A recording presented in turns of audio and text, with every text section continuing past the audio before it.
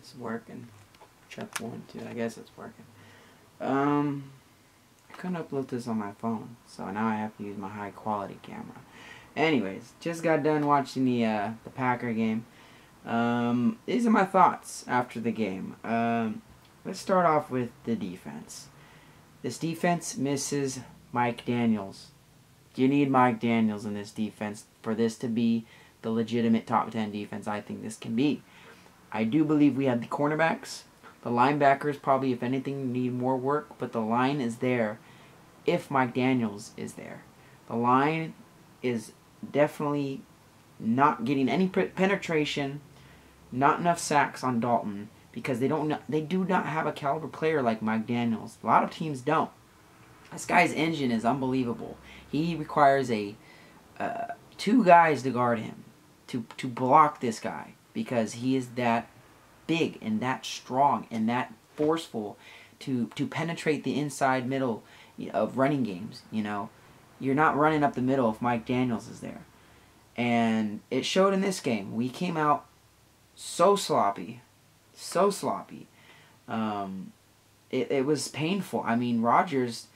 I was looking at my fantasy team and I was like, this guy's got me t- like I my one of my fantasy leagues scores a lot of points.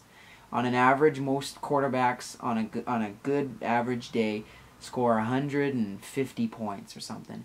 At halftime, Rodgers had like 10 or 7, and and I mean we're talking like Joe Flacco this morning. Like Joe Flacco threw for like I think 28, 28 yards or something.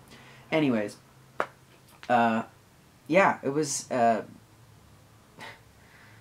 it was not good defensive wise, but they did show up and and figured out Cincinnati's offense. I honestly missed the third quarter. Um, I had to do some errands, so I missed part of the third quarter. But I did see that Cincinnati blew a chance to kick a field goal, um, and the offense was steadily starting to come alive in the second half.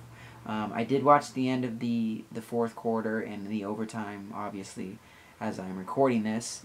Um, but yeah, uh, sloppy game on the defensive end, and a sloppy again. It's another sloppy game from Aaron Rodgers. Um, I'm not gonna sprinkle uh, sugarcoat this.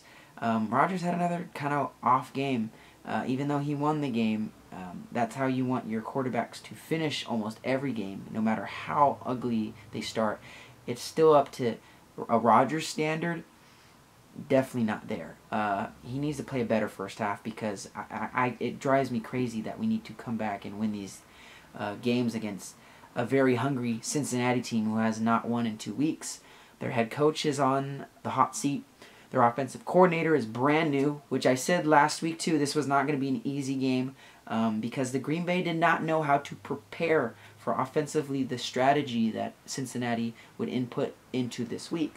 So it kind of put us at a disadvantage, and it showed uh, defensively. I mean, missing guys like Daniels, Nick Perry, um, Kentrell Brice, those guys. I think Davon House even sat this game, so we our our one of our best starting corners was out too.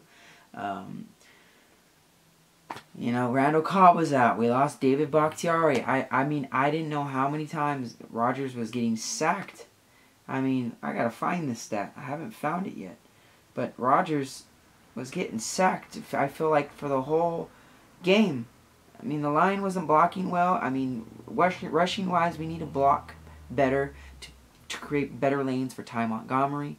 Um, you know, there's a lot of things this team needs to work on, and uh, I'm glad we're getting wins though. We need these wins because they are big time before we actually turn the switch on. I don't think the switch on is just yet for the Green Bay Packers, but crucially, I really want Mike Daniels back. Daniels is the dude. He is the guy. He is the the freaking Goku of the Dragon Ball Z. As you, he's the dude. Like we need him on the field, and uh, you know we almost lost a close game, and I'm glad. Hey, I'm glad Rodgers got the monkey off his back for the uh, overtime losses, the consecutive eight-time overtime losses that he has done um, which are, most of the time aren't entirely his fault.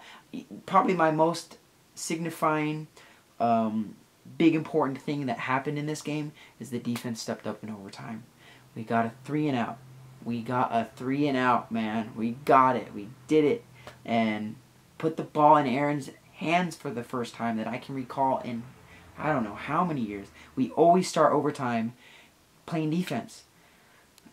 Arizona, we didn't get the ball. Uh, I think Seattle one year didn't get the ball. Um, there's been too many countless games where I'm like, we didn't even get a chance on offense for Rodgers to do anything, and and that goes on his record. Like some of those games aren't even his fault that he didn't get the fucking ball. Um, sorry, I'm a little sick. um, but anyways, Geronimo Allison. This is the reason why we kept him on the team. Um, six receptions for 122 yards. Um, Rodgers again, he had 313 yards for three touchdowns. Um, also, the biggest, biggest, biggest problem uh, with today's game was, uh, which which put us in this position, was Rodgers' interception.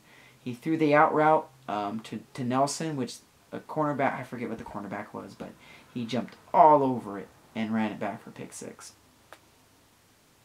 We can't have that, man. We already had that last week with the fumble. You know, just down the line, we didn't know if it was fair or not. Can't have that. It it's just too. Turnovers are crucial. Y- usually, you win games and die by games by the turnover margin. So, that too um, was a big problem uh, that put us in this hole. So we we had to dig deep, come back, and uh, fight like hell to beat the Cincinnati team that were really hungry, and we snatched it out of them. We snatched the win right out of their hands. They were right there. Um, but yeah, it's unfortunate. I mean, Cincinnati, I feel for you guys. Yeah, Bengals. Uh, I, I was on the Cincinnati Marvin Lewis bandwagon to not fire um, him, but I think it's it's time. He, he's gonna get fired. Uh, I I just I don't see a team that wants to play for him anymore. Uh, especially losing games like this. Uh, you lost two home games. Now you lose one away game like this against a, a, a legitimate NFC team.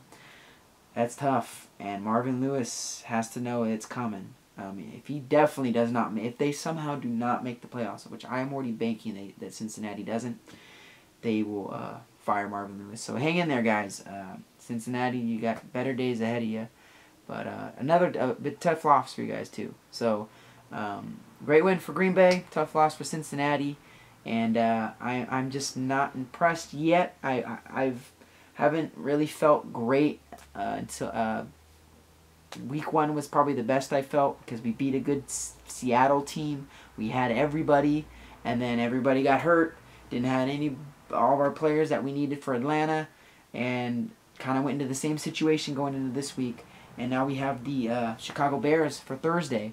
So short week too, which uh, after the, hopefully Chicago we can get a lot of guys healthy um, for the uh, next next week's game. But with that being said, it was a good good overtime win. I'm really proud that these guys fought and hung in there and played good defense in the second half. We only gave up three points. Um, they probably should have had more. I think they uh, Cincinnati missed a field goal, which hurt them because that would have sealed the deal had we come back and uh, made that touchdown pass that Aaron Rodgers threw to uh, Nelson, which was an out route uh, to the corner. Um, he sure made up for that. He redeemed himself there. Way to go, Aaron.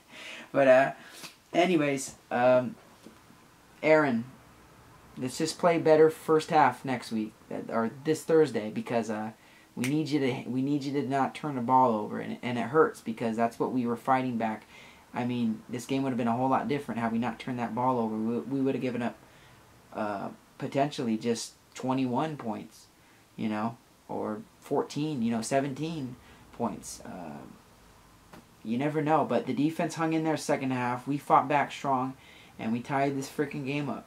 And we went into overtime. Cross my fingers. We won. Um, but let's let's move on to next week since uh, Cincinnati. Chicago's coming off a good win off of Seattle. Uh, Seattle. Steelers. I'm mixing up my S's here. Um, the Steelers. Um, I, I, I feel more confident going into this game than I did uh, th- this last game uh, against Cincinnati, Cincinnati because uh, I just believe when uh, a team that goes to uh, 0 and 2 and gets a good tough win off a, a team like the Steelers in their home, and now they're coming to Lambeau, um, they tend to feel a little bit too good. So maybe we can catch them in a good spot. Uh, but we still got to count for Jordan Howard um, and uh, Cohen. Those guys are legit. Those guys are the playmakers on uh, Chicago. Defensive wise, I don't really know what Chicago has defensively. It looks like they shut down the Steelers pretty well today. Um, but then again, who knows? Maybe uh, offensively, uh, you know, seems like the Steelers are in a shamble of themselves with all the stuff that's been going on with them. Anyways, though, I'm rambling too much. I'm already getting into next week. Good win for Green Bay. Um, let me know what you guys think. Um, let me know what you guys think about the defense. Um, I feel obviously different, but maybe majority of people, Packers fan, they always want to call for Dom Capers head. No, we need we just need Mike Daniels back. We need him back. He's he is the captain of the defense for a reason. He is the legit dude that we need. Um, other than that, really impressed with the uh, win. Then, really proud. We do. I'm glad we got an overtime win with Rodgers. That's something to celebrate. So, uh, see you guys next time. I'll see you guys after Thursday, and uh, go pack go.